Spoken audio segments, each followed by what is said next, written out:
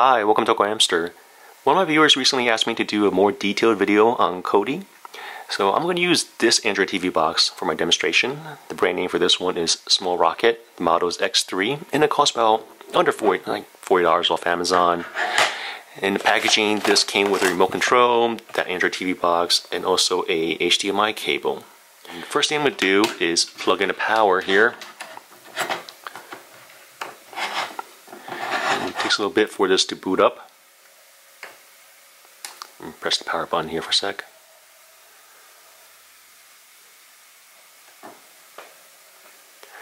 Small rocket. Alright, so it's booting up. While that's booting up, I'm going to show the Kodi website. So the Kodi website is kodi.tv and from now going forward you're probably going to see a lot more Android TV boxes that does not have Kodi pre-installed. I believe that's the thing I saw recently there were some um, countries that forbid it that's now legal. So Android TV boxes like Small Rocket they made the setup process very simple where you can just essentially use their interface to download Kodi. And here's the splash screen. I'm just going to choose my language here for a sec. English. And choose change my scale. Sometimes it's not scaled properly, but for this one it is. next. Now, this is for adding my Wi-Fi information. And after adding the Wi-Fi information, just hit connect.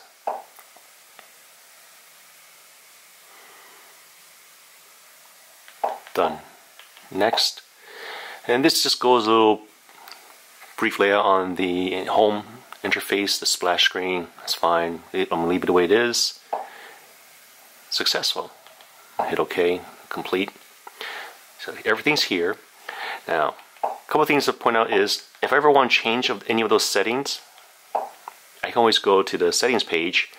For example, under network, I can choose different Wi-Fi. If I wanted, I can go to the Ethernet if I wanted to. Go to VPN. If I want to rescale, I just head back to the display and it'll be under screen position. I'll over here, I can zoom in or zoom out. For Kodi, one of the more important settings is the daytime, right over here. The reason this is important is because the daytime is used by the Kodi add-ons when it tries doing a search or a filter. So if your date time is a couple years back, well, you're to get kind of weird search results. Head back to home screen here. And I'm head to the My Apps section. So here are the apps that came pre-installed. Kodi's not here, YouTube's not here, Netflix is not, not on here. I can always download from Play Store, but I'll need to enter my personal information. So there are other ways. On this remote control, there's a little help button right over here. And I'm to press the help button right now. It brings up this web page. It's tvboxceo.com. I can just move, press the directional key on the remote control and head to solutions. Now, over here, they're not referring to Kodi as Kodi, they're referring to it by the old name. The previous name for Kodi was XBMC, which is Xbox Media Center, which was developed when the Xbox first came out. I'm not sure exactly when they changed it to Kodi, but some of us still know it by Xbox Media Center. And I'm head to Solutions section. So all they did was they just renamed it TVMC. I'm gonna head to the TVMC side over here. Start download, and there's different choices. Well, one reasons there's different choices is goes back to here's the Kodi webpage again at Kodi.tv. I'm gonna head to the download section here, and there are different versions of Kodi for different operating systems, and even within the operating system, like Android, for example, there are different files, install files to choose from based on your CPU. Over here, I know 17.1 is the latest. I'm gonna hit OK. And it's asking me, do I want to download the file? So I'm a yes. It's starting to download. So while that, that's downloading, it be pretty quick. If the Android TV box of yours is not like the small Rocket, you can always just download it and then place it on a flash drive. Alright, so I finished downloading. hit scroll down to the install section over here, hit OK, and installing. So the power of Kodi in the past was just basically to watch videos that you download yourself, uh, listen to music that you placed, MP3s that you own, or pictures that you own. I'm hit scroll down, hit done, then head back to the home. What made Kodi very popular nowadays is the add-ons. So now we got the TVMC right over here. I'm going to launch it. This is just their own splash screen, but it's still Kodi. Once you're in here, you can see that it's it looks just like any other Kodi. So if you ever need to follow someone's website on other tutorials, you can. This, or everything over you see over here, like you, if you need to add different services, different add-ons, head to the settings page over here. Now, the add-ons are what makes Kodi powerful. In my opinion, it makes Kodi powerful. There's different uses. Like I mentioned, you can still watch videos if you want. You can still listen to music if you want. But for me, I use it for the add-ons. But adding the add-ons on here and trying to type all those websites and passwords with a remote control, well, that does take a lot of time. So let me head back to the home page over here for a second. And I'm going to click on the help again. So now I'm back here. I'm going to head to solutions again. This time, I'm going to click on K add-ons.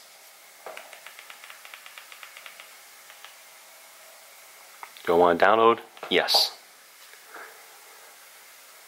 Alright, now I'm going to open. Right over there.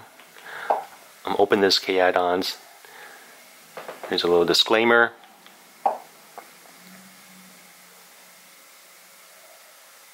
Alright, here I'm going to browse it based on section. So I'm going to go live TV first. Here are the plugins, add-ons for live TV. And I'm just show like like TED Talks for example.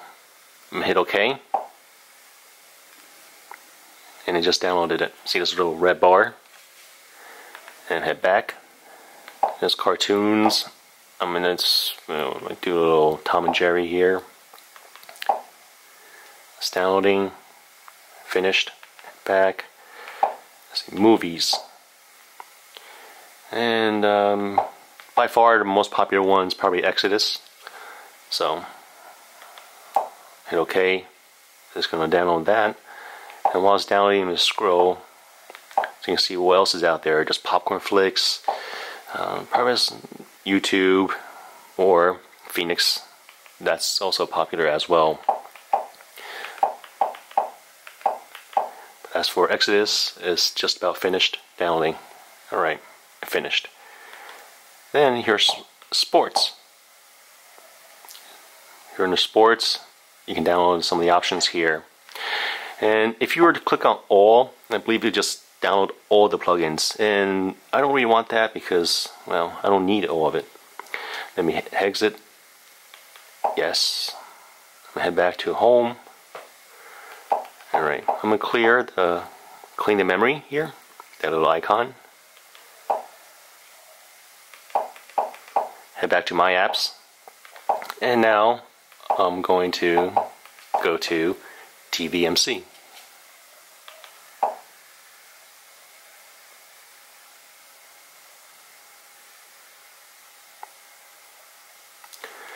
I'm going to scroll down to this section, add-ons.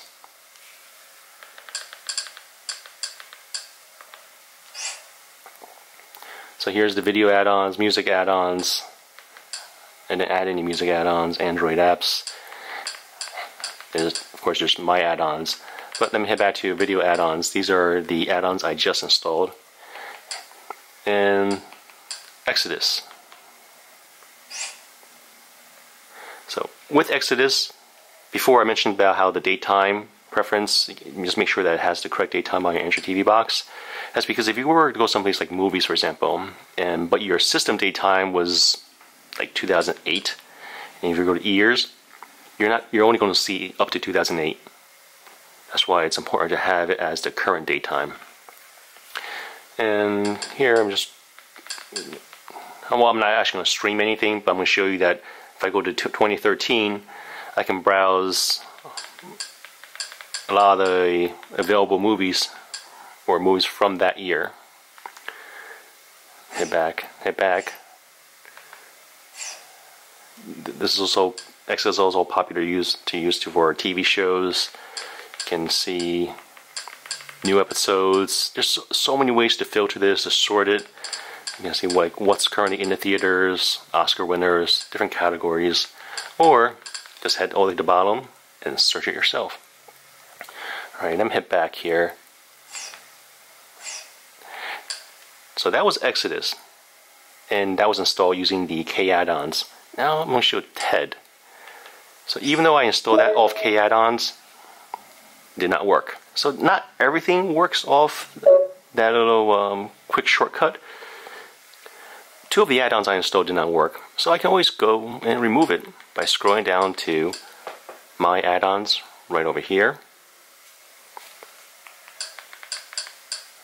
And just go to Video Add-ons.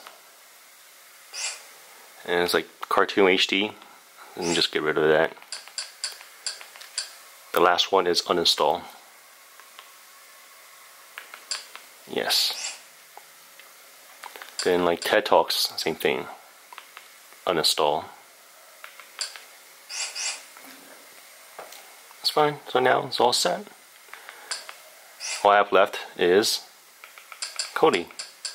I can configure it if I needed to, playback, accounts, enable subtitles here if I wanted. I mentioned you can install apps using the Google Play Store or using the helpful website that was provided by Small Rocket or you can always install from a flash drive by just plugging a flash, putting your files on a flash drive and plugging it in. USB connected, that's fine. Let's head back home screen because I want to browse it through the My Apps using the file manager or file browser right over there.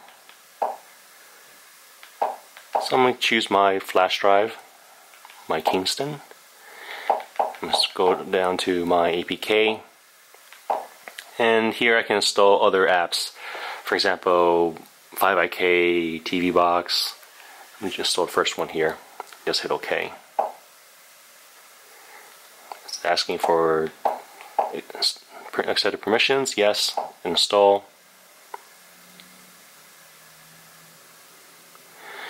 Alright done. Besides streaming from some other server, I can also load movies or home movies, movies I downloaded onto a flash drive and play it off this Android TV box, Small Rocket. So here I place one of my files in here. This is a, like a 600 meg video file. And I can choose different ways to play it. I can play it using the Kodi. I can play it using the movie player or video player. I'm going to choose the movie player here.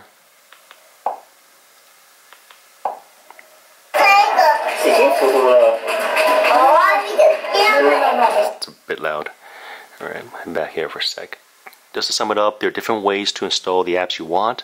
So for example, my focus was Kodi, and with this Android TV box, Small Rocket, they had a very easy to use interface in their help system that allowed me to download it, and also install the Exodus add-on, where if I were to do the other methods, other method would be downloading Kodi from the Google Play Store, or downloading Kodi on computer, copying it to my flash drive, plugging the flash drive to the TV box and installing it. But even then, I still need to manually type out the add-on address into Kodi. Best thing to do is probably just get like a USB keyboard, plug it in, but still that takes time. And it's not difficult, just trying to type out using a little remote control is not that simple. But since Small Rocket has that useful interface, it just made things a lot easier. The power of Kodi, in my opinion, is the add-ons. So there's there are plenty of them out there. You can use it to stream live TV. You can use it to listen to music. You can listen to. You can use it to watch more other different types of videos. So yeah, I definitely recommend getting one of these TV boxes. They cost around forty dollars off Amazon, and they basically turn your TV into a smart TV. Well, thanks for watching this video. If you guys have any questions, comments, suggestions, feel free to contact me. Thanks for watching Hamster. Bye.